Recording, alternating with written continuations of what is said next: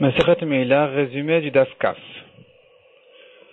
La Mishnah parle de quelqu'un qui aurait pris du Ekdesh, une pierre ou une poutre, et qui est encore pas tour de Meila jusqu'à ce qu'il ait donné à son ami, ou bien qu'il l'a construit sur sa maison, il a toujours pas fait Meila, jusqu'à ce qu'il en profite en habitant en dessous, et donc il a profité d'une prouta, c'est que là où il est Khayab.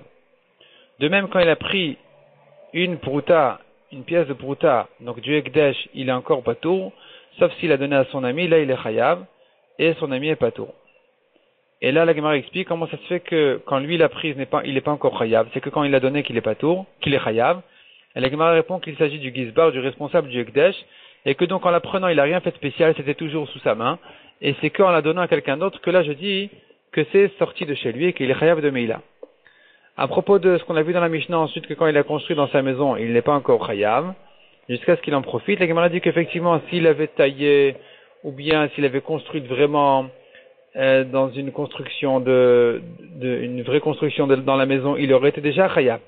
Simplement ici, il s'agit d'un cas où il n'a que, il ne l'a que posé sur euh, la, sa cheminée ou je sais pas sa fenêtre d'en haut.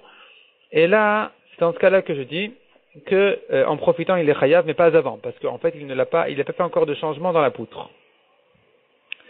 La Gemara de là, on arrive au chidouche de Rav qui dit que quelqu'un qui s'est prosterné devant une maison, il a interdite, parce que je considère que la maison n'est pas comme attachée à la terre, puisqu'elle était au début détachée, les pierres, et qu'ensuite on l'a attachée, c'est considéré toujours comme détaché, qui pourrait devenir avodazara interdit. Contrairement à, à, quelque chose qui fait partie de la terre ou qui pousse de la terre, qui ne peut pas devenir avodazara. Et donc, la Gemara veut renforcer cette euh, Asvara de de notre Mishnah qui dit qu'il y a Meïla dans ce cas-là. Malgré qu'il n'y a pas Meïla non plus pour quelque chose qui est attaché à la terre, je considère la maison comme quelque chose de détaché. Mais la Gemara repousse en disant, Meïla c'est différent, Meïla tout ce qui paraît être euh, détaché, tout ce qui paraît être un, profit, un plaisir, c'est déjà considéré comme Meïla.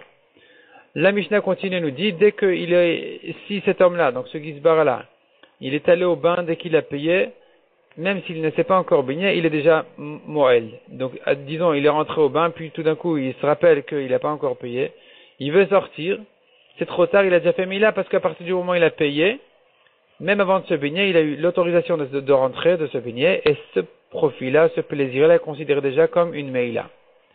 La Mishnah termine en disant, celui qui a mangé une demi-prouta, il a donné une demi-prouta, ou bien il a profité d'une demi-prouta et il a donné à son ami à profiter d'une demi-prouta, ou bien l'un a mangé et l'autre a profité, ça s'associe pour en arriver à une prouta, même s'il y a du temps qui est passé entre l'un et l'autre. Ensuite, on commence le période suivant. Le période suivant traite l'histoire du chaliar. Donc, le chaliar, c'est quelqu'un qui était envoyé à acheter, il est allé, le, le balabait lui a donné une pièce, lui a donné de l'argent de Kdesh, et il a dit, va avec ça, tu vas faire tes courses, tu vas, tu vas acheter ce que j'ai besoin. Il lui dit exactement quoi acheter, c'est le balabait qui a fait Meïla si donc le chaliach acheté exactement ce qu'il devait acheter. Mais si le chaliach a fait un changement dans sa mission, alors c'est le chaliach qui est chayav de Meïla. La Mishnah nous donne un exemple. Si la Dieu chaliach donne de la viande aux invités et il leur a servi du foie, alors c'est le chaliach qui a fait un changement, c'est lui qui est chayav. De même, s'il leur a dit, s'il a dit au chaliach, serre-leur, serre aux invités un morceau, et il leur a dit prenez deux, et eux-mêmes, les invités ont pris trois. Tout le monde a été moël ici. Et le balabait pour le premier, et le chaliar pour le deuxième, et eux pour le troisième. Et la Gemara, au passage, s'attarde sur ce qu'on a vu dans la Mishnah, que le foie ne fait pas partie de la viande. Et la Gemara dit, c'est pas évident. A priori, ça devrait être une marloquette à propos de Nedarim. Est-ce que quelqu'un qui a fait le Neder de l'un, est-ce qu'il est interdit de l'autre aussi, ou pas, puisque ça se ressemble? Alors, on devrait dire peut-être que ça fait partie de son Neder. Or, d'autres Mishnah considère que c'est une autre chose. Et la Gemara dit non, même si on dit à propos de Nedarim que c'est que c'est oui la même chose, ici quand même le balabait n'est pas chayav.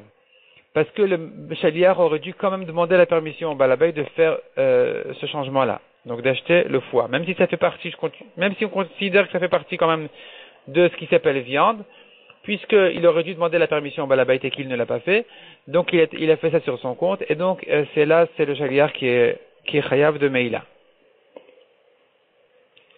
La Gemara ensuite rentre dans les détails, des exemples, quelles sont les choses qui sont considérées comme de la viande et qu'est-ce qui est différent de la viande. Et donc la Gemara elle ramène aussi au passage la marloquette entre les Tanaïm, à savoir, est-ce que toutes les sortes de viande sont considérées comme de la viande, oui ou non? Est-ce que les volailles sont considérées comme de la viande? Et est-ce qu'il y a une différence entre les volailles et les poissons? On voit ici dans la Braïta qu'il y a une différence, la Gemara s'étonne, mais quelle est la différence? Un homme peut se permettre de remplacer sa viande s'il n'en a pas trouvé avec des poissons comme avec des volailles, il n'y a pas de différence. Si tu considères les volailles comme de la viande pour cette raison, tu devrais considérer les poissons aussi. Et jusqu'à ce que la Gemara résout le problème en disant, il s'agit d'un cas très spécial, de quelqu'un qui aujourd'hui ne compte pas du tout manger de poisson parce que c'est mauvais pour lui. Il a mal aux yeux, par exemple, et c'est mauvais pour lui les poissons. Et donc, euh, il n'avait pas dans la tête du tout les poissons, donc ils ne, sont pas entrés dans son éder. La Gemara ensuite termine avec ce qu'on a vu dans la Mishnah. Lorsque le Balabait a dit, euh, il a dit au chaliar, serre-leur un morceau, il leur a dit, servez-vous-en deux. Et là, on a dit que le, chaliar, le Balabait, il a fait, il est quand même chayav, il a fait Mila pour le premier morceau on devrait dire que le chaliar n'a pas fait sa mission correctement puisqu'il y aura ajouté un deuxième. Et pourtant on dit que non, le premier morceau il est considéré comme la shlichut du balabait, comme si c'était le balabait qu'il avait, qui avait fait Meïla. Répond la Gemara que on pourrait dire que ici il s'agit d'un cas où le chaliar a dit le premier morceau c'est euh, le balabait qui m'a dit de vous le donner. Le deuxième, c'est sur mon compte. Le deuxième, en fait, c'est aldati, c'est sur mon intention. C'est moi qui vous dis, vous n'avez aucun problème, vous pouvez en prendre un deuxième. Puisqu'il a dit clairement que le premier, c'était de la part du balabait, alors, il a isolé le premier du deuxième. Donc le balabait, il a fait sur le premier, et le chaliar sur le deuxième.